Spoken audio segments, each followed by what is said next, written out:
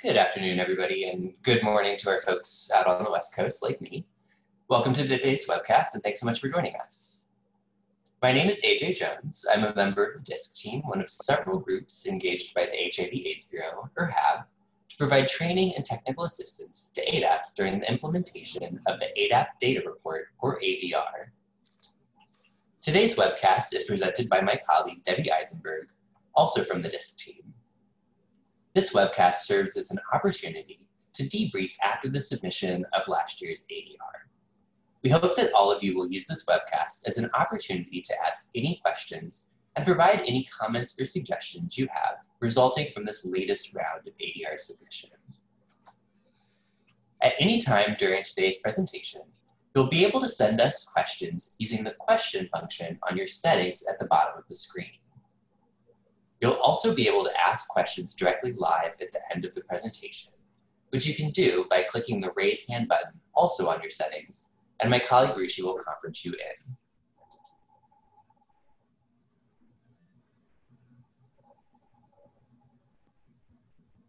Today's webinar is supported by the DISC team, which is comprised of CAI, Mission Analytics, and Abt Associates.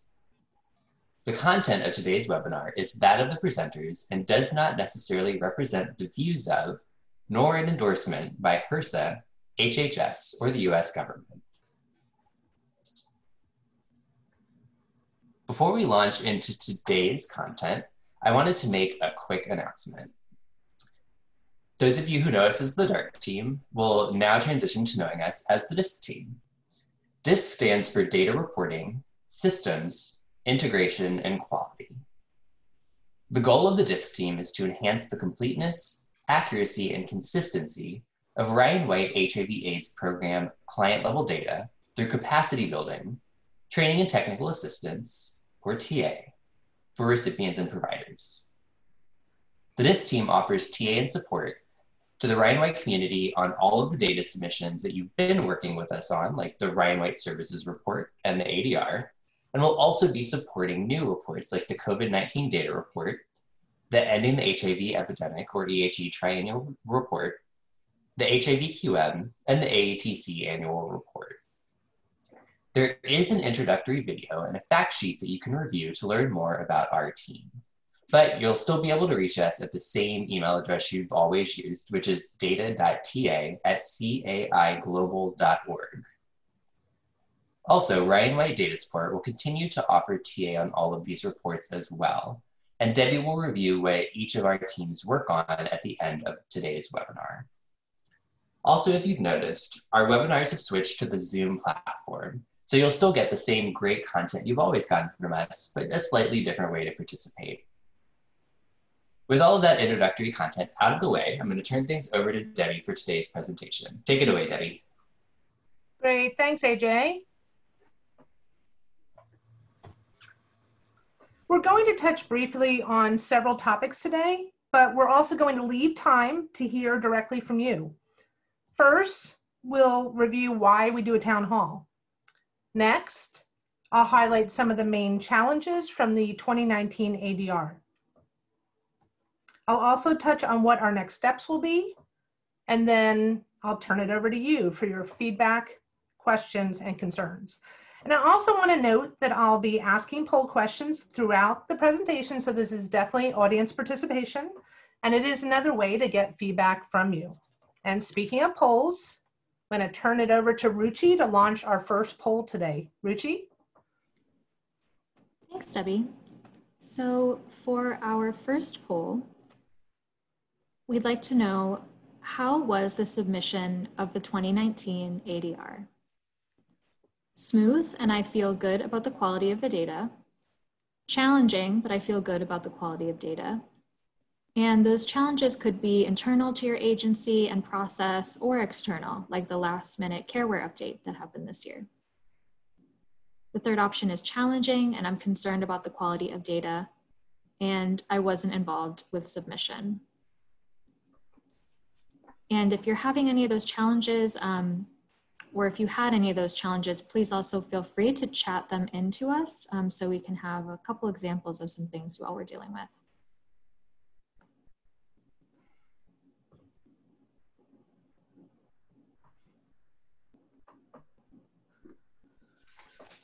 So I will give a few more moments for uh, people to finish up the polling.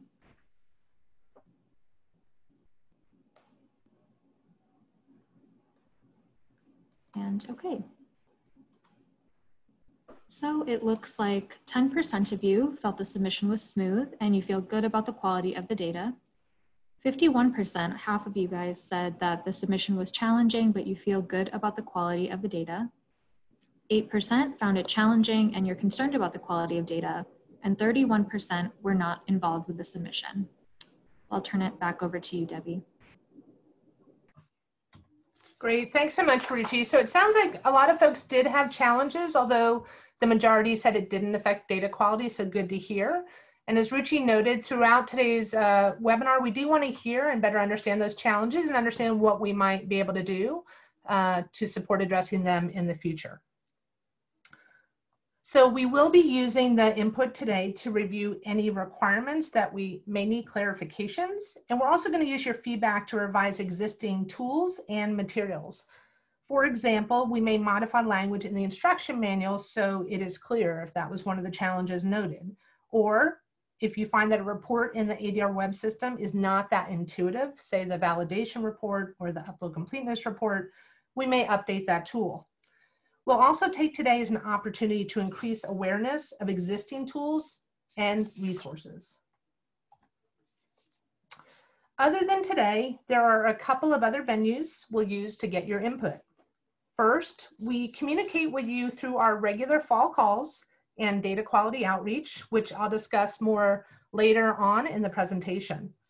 We are also in the process of carefully reviewing your ADR comments from the 2019 submission to understand your specific program and how it affects data collection and submission. And outside of the more formal forums, you know, you can always reach out to us for questions as well as suggestions. So let's look back at the 2019 ADR. It's hard to believe it was, it was two months ago now. So first, let's talk about careware.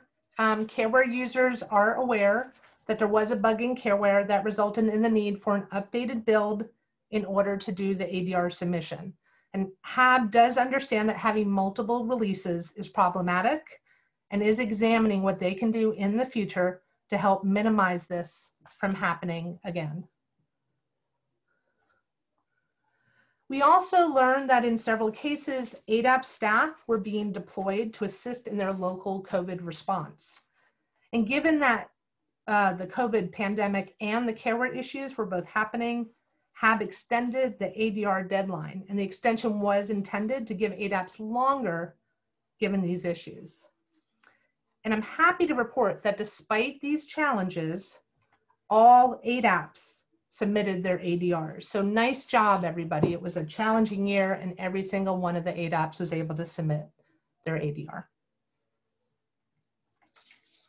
So let's review some of the issues identified during the most recent ADR submission. And we're going to start with the upload completeness report or the UCR for short.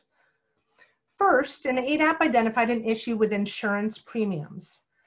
Specifically, if a client received both partial and full premium assistance in the reporting period, they were actually counted twice in the insurance premium and months coverage denominators of the upload completeness report. And you can see that here in the red boxes, it's where the N would be. Since this isn't a very common occurrence based on talking to ADAPs in terms of people getting both, the impact on ADAPs was limited and it also had no effect on the underlying data. It was solely how the data were represented in the upload completeness report. So basically it created confusion and we have let HAB know about that. There was also a duplicate listing in the medication table for Triumec. And this is because there's a small difference if you look at the generic name um, for each of the listings. But both the N and the percentage are identical. So even though it's listed twice, the content is exactly the same for the N and the percent. Again, we forwarded the suggestion to have that one of the entries on the UCR be removed to uh, avoid any confusion. Also related to medications, we found that the existing medication summary table was a little confusing because the denominator is the number of clients with medication services, and the numerator is the number of dispenses with that decode. So it could be over 100%. It's more intuitive for the numerator to be the number of clients with that decode. So we've also suggested that change to have. Now, time for our second poll. We'd like to get a better sense of why you may or may not use the UCR and what else we could do to improve it. So I'm going to turn things over again to Ruchi. Ruchi? Thanks, Debbie. So our second poll question is, how would you best describe your use of the UCR for the ADR submission? It helped me identify data quality issues. It helped me, but I have suggestions about content. I knew it was available, but I did not use it, or I did not know that it was available.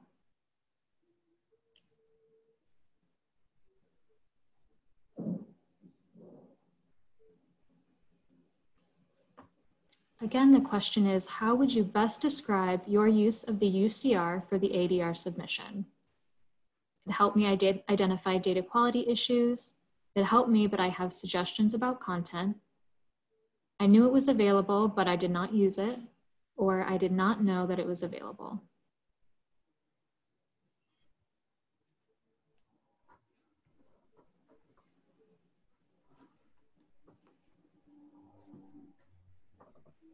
Right, I'm gonna go ahead and close the poll. And it looks like 34% of you said that you help, it helped you identify data quality issues. 9% said it helped you, but you have suggestions about content. 11% said you knew that it was available, but you did not use it. And 46%, almost half of you, did not know that the UCR was available. Debbie? Great, thanks, Ruchi. So hopefully the 46% of you, we've tackled that, right? So you know it's available, and we definitely will have future webinars go over it in more detail, but it is a report in the system to support you. Uh, for those of you who have suggestions, please chat them in. We want to hear your suggestions about what you have. You can also let us know during the question answer period if you have a suggestion, but feel free to chat them in to us. Um, again, that's on the menu bar at the bottom of your screen and uh, let us know what changes you'd like to see. Um, a third of you said it helped you identify data quality issues. That's the purpose of it. So it's great to hear that. Um, so, and a small portion didn't use it, but knew it was available. We definitely want everyone to use it, and we'll talk more about that in the future. So we're going to shift a little bit to discuss TRACS. There were some limited TRACS issues this year, and for those of you who use TRACS, it is a free application that HAB provides to create the XML. Uh, a few of the larger ADAPs noted that TRACS was taking longer to run this year. And the programming behind the scenes was updated, so the records were processed a little differently. We've already let HAB know, so this can be addressed moving forward. Um, the other issue is not new, but creates confusion each year. Specifically, the data format required for TRACS is different from what is listed in the schema and creates errors in TRACS. We'll be sure to highlight this issue in the TRACS manual moving forward. There also continues to be some confusion about importing into Careware. And remember, be sure to use the Careware Provider Data Import or PDI specifications. It's actually a document you can get from the Careware Help Desk. And if you have any questions, reach out to the Careware Help direct, directly for technical assistance. And I'll give you that contact information a little later in the webinar. There was also some confusion about how to enter ADAP application receive date, application approved date, and recertification date that resulted in some ADAPs receiving validation warnings. And it is easy to get confused because even though I just listed three different data elements in the ADR, there are only two places in Careware to enter the dates. A quick refresher, application date is where you enter the date that a complete application for a new client was received. Once you enter this date, it should never be changed. The date that the application was approved is actually entered under latest enrollment date, as are all the recertification dates. Also remember that if a client was enrolled in the ADAP in the past, but is not currently enrolled and then submits an application to be enrolled again, the client is not new, and that application should be reported as a recertification date in CareWare. Still have questions? The CareWare Help Desk can help you, so just call or email them. You can also call DART, um, or sorry, DISC team to discuss any questions that you might have around this. And again, I'll share the contact information at the end of the webinar. This is also a good time to remind everyone that there is already an ADR in focus that has several helpful CareWare tips, including the one that I just reviewed. We'll need to update the screenshots to CareWare 6.0, but the tip content won't change.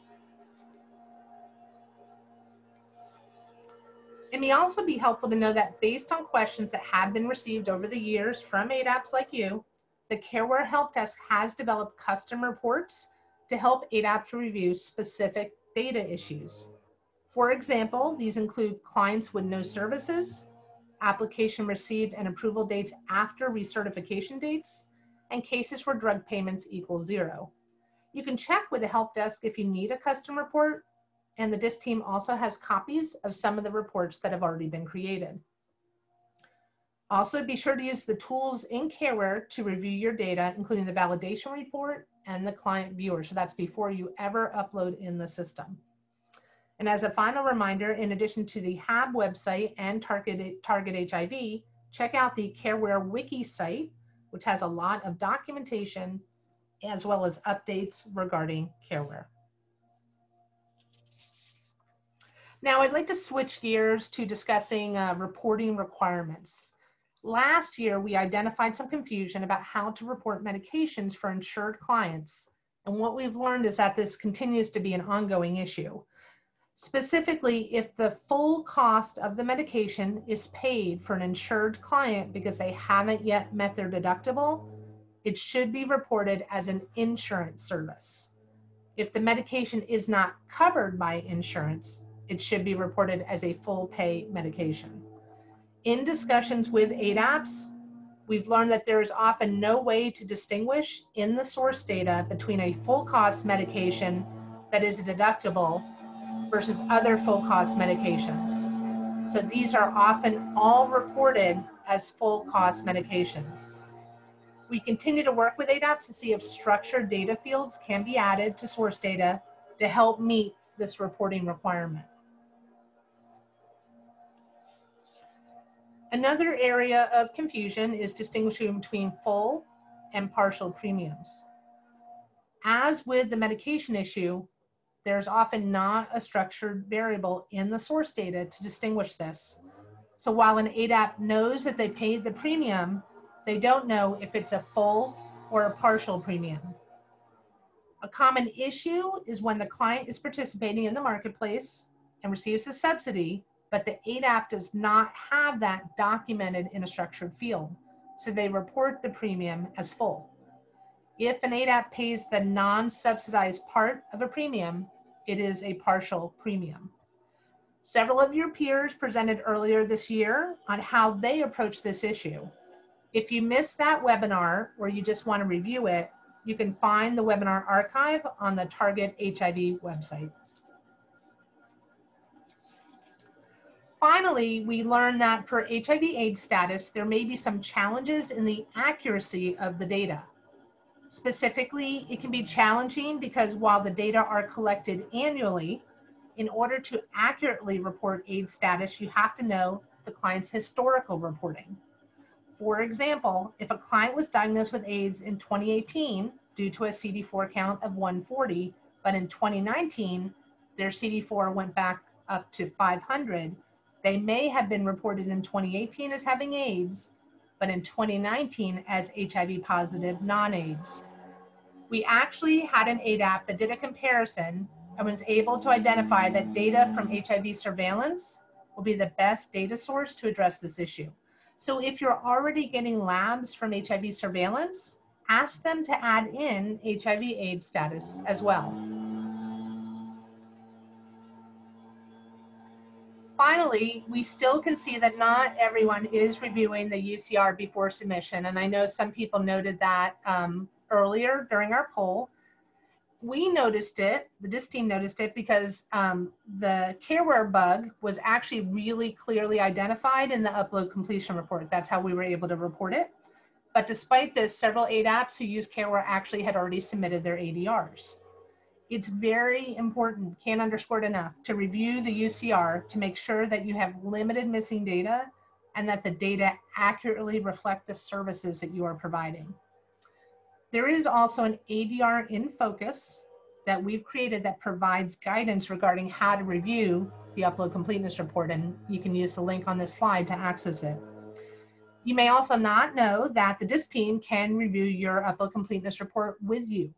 Um, we can do it um, to prepare for next year's ADR. We can also review it actually during the submission. Several, several ADAPs will let us know they uploaded their data and ask us to review their upload completeness report with them. So we're happy to do that as well.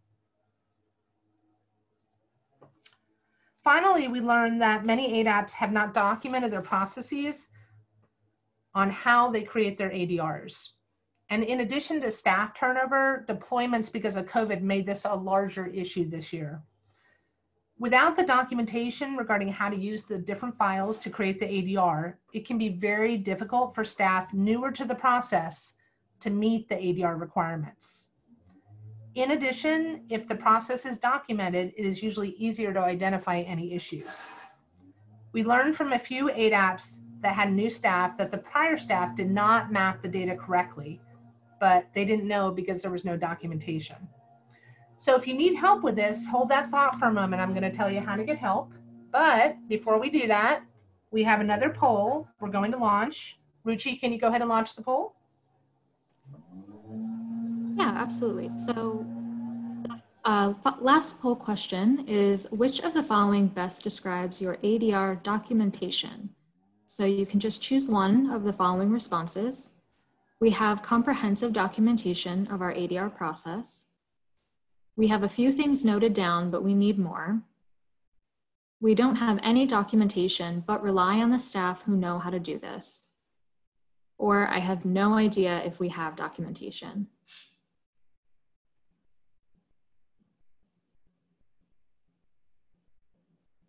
Again, the question is which of the following best describes your ADR documentation?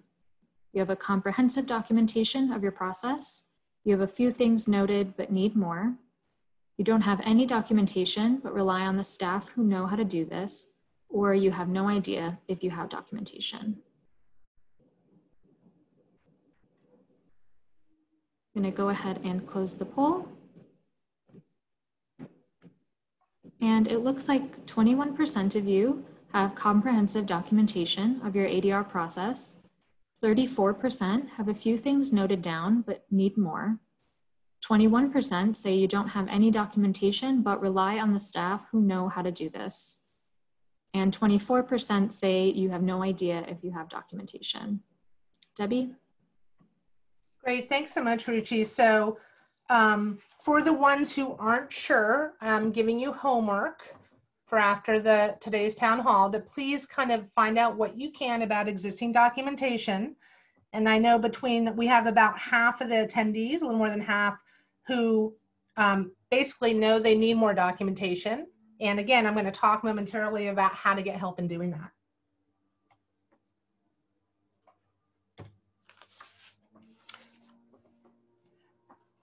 So now we're going to talk about moving ahead and next steps. In the next couple of months, we'll follow up with ADAPs that had significant problems as indicated by the report comments. We go through every single comment, so it does take time uh, to be able to give you feedback. And just like the last couple of years, as I mentioned earlier, we'll hold calls with all ADAPs to make sure your data reflect your program and learn about any changes you're making to your data management processes. We'll update the ADR data summary reports to compare 2018 and 2019 data, and we'll share those as part of outreach, outreach activities. We'll also work with ADAPs who haven't yet documented their processes to do just that. So this is the answer to that poll question. Um, the DISC team will help you do it. It may be as simple as using the crosswalk that is part of the TRACS download package or using separate documents, but we can adjust our approach to meet the needs of each individual ADAP. If you'd like to get started on that, you can, rather than waiting for us to reach out to you, you can either email us directly at the data.ta email or you can fill out a request uh, form on the Target HIV website.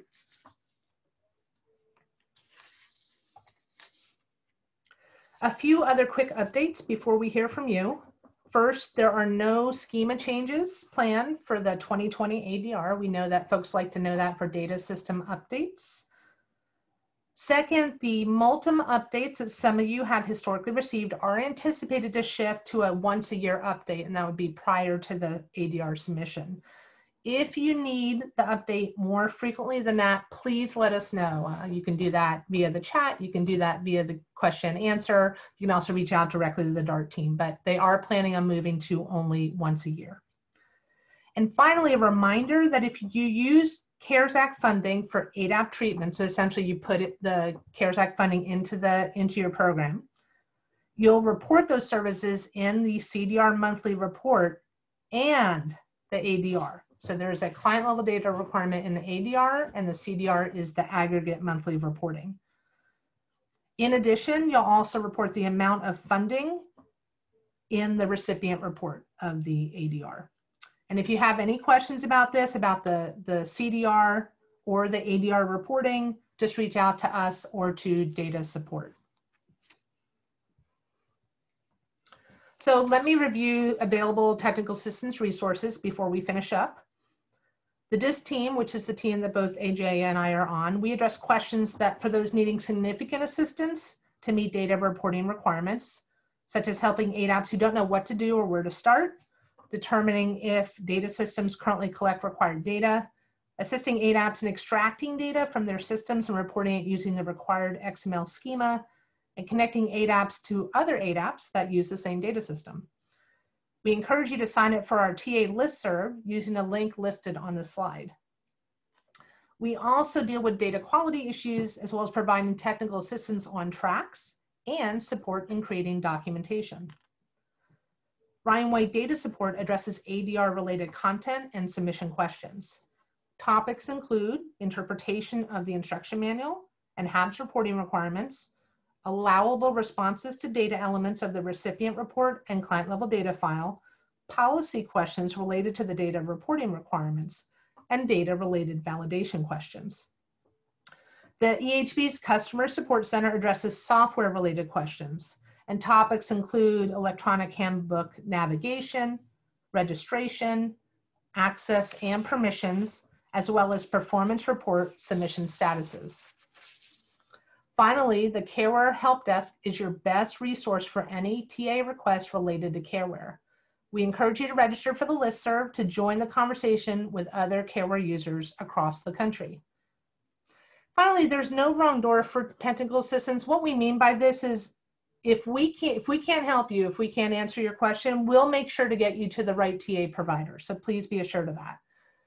So now i'm going to turn things over to aj for our q&a portion of the webinar. Aj awesome. Thank you so much debbie for that fantastic presentation